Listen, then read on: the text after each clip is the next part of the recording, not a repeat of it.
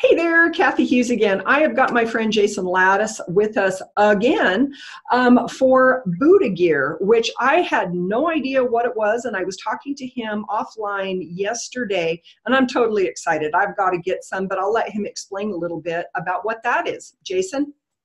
Nice. Thank you so much. Thanks for having me. Um, you may have seen some of my information out there about my quantum body coaching, energy coaching, and teaching people about their body, their energy, um, their their neural pathways, and how it all ties together.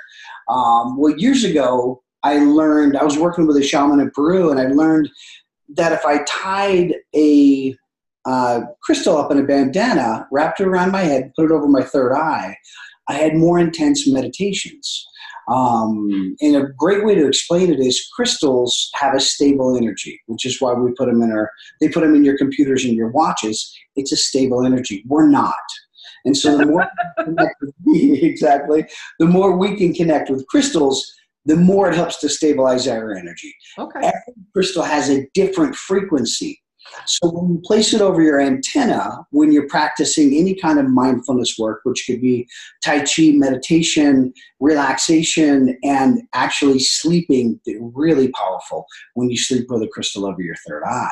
Well, my girlfriend Joy, she's a hat designer, and, or headwear designer, I should say. So I came up with this idea that I was using in my coaching for years but I was just using bandanas. Well, she's an amazing headwear designer and came up with the Buddha band. Um, I actually wish I had one with me right now, but it's a headband. They have most of them have symbols over the third eye, um, but there's a p- hidden pocket, so you can put a crystal over your third eye during mindfulness practice. Um, and we found we've had profound effects um, even while sleeping because when you sleep, the biggest challenge people have with meditation is shutting down your conscious mind. When you go to sleep, you shut down your conscious mind, you drop your brain waves into a theta and then a delta state, which is a deep, deep meditation. You do this every night. So when you place a crystal over your third eye, it's like turning the radio down just a hair. It tunes you into a different frequency in that resting state, and you actually have different experiences depending on the crystal you use.